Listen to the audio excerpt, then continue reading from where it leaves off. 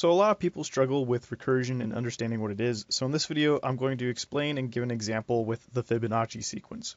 You may be wondering, what is the Fibonacci sequence? Well, it's a sequence of numbers where you add the previous two numbers to get the new one. So it starts with 1 and 1. So your third number is 2, 1 plus 1 is 2.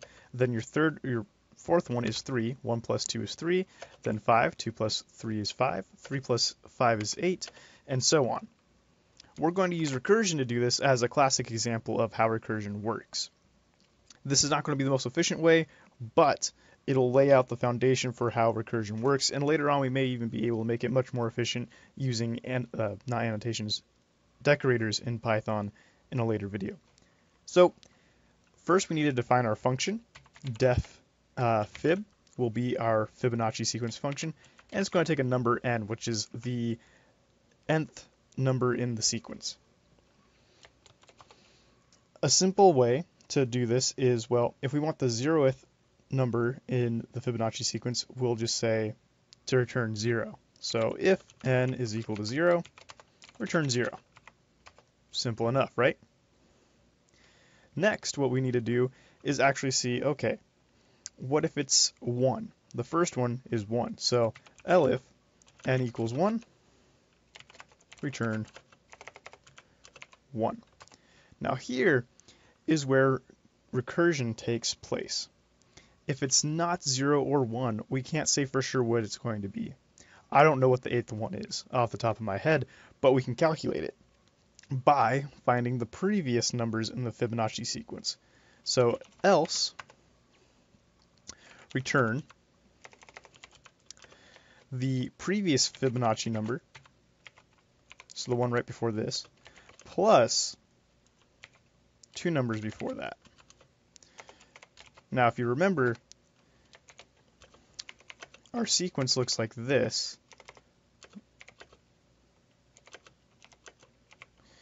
If we were to say, okay, we want the first one, we get one. Second, we should get one. Third, we should get 2, etc.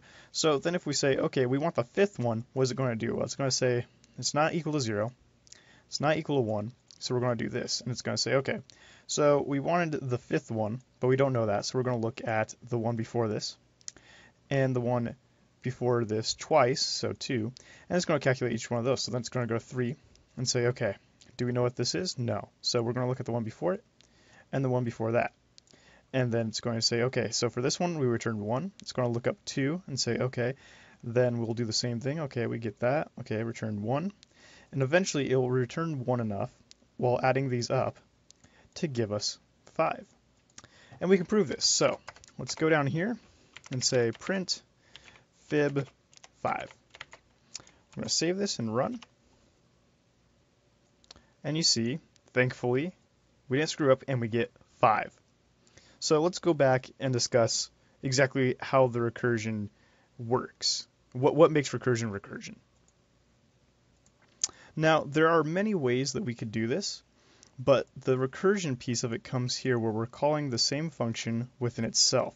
So that we're going to repeatedly call the function as if we're looping through it until we get to the point where we know the value. So until it hits 0 or until it hits 1, it's going to continue to call this on each number. Then the very last one will return the value 1. It'll add 1 plus the one before that, which is again 1, and we made it so it will compute this because it'll know once 1 is equal to 1 to return 1. So say, okay, 1 is 1, 1 is 1. You'll add that together, you'll get 2. And then it'll say, okay, so once now we have 2, what was the 3 one, and it'll add it up again, and it'll be like, okay, so we know the value for this one's 2, we know the value for this one's 1, so we get 3. It'll add those together once it knows the Fibonacci uh, n minus 1 and n minus 2, which in this case would be 4 and 3, which are 3 and 2 respectively. Add those together and return 5. That's what makes this recursion. There's a lot of other ways we can do this.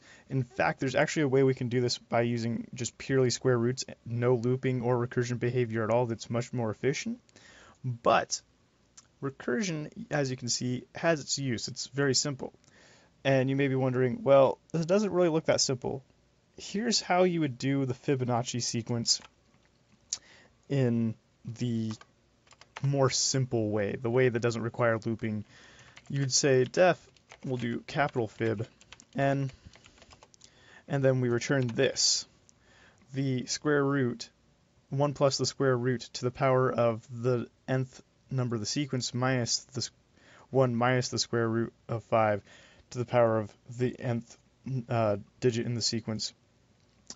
Divided by all of this divide or yeah divided by 2 to the power of n times the square root of 5 and you, you can see that's that's complicated and no one's going to see this and be like ah I, I understand what's going on so recursion allows us to loop through a function within itself so that we can use it to reliably get the same values and makes it readable for humans. Th- this is very explanatory of how it works as compared to this. Like, why is square root 5 involved in this? Well, because of like mathematicians that know enough about sequences to really give you a formula for it. So, how else can we simplify this? Stay tuned for the next time when we talk about decorators, and I'll show you how we can actually modify functions at runtime. Thank you for watching. I hope this video helped you understand how recursion works.